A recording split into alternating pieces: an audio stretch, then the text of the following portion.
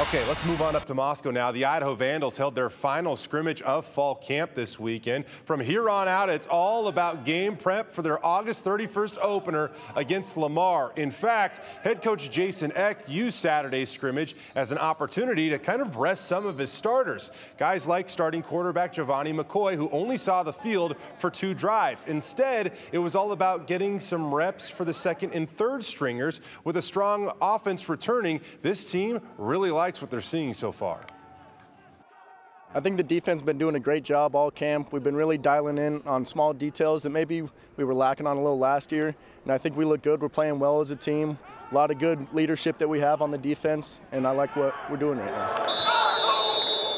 There's just been a countdown uh, since um, for a while now, and it's just getting uh, closer and closer, and we'll be in Texas before we know it. So, uh, so we're just all very excited and, and pumped up. It's coming real soon.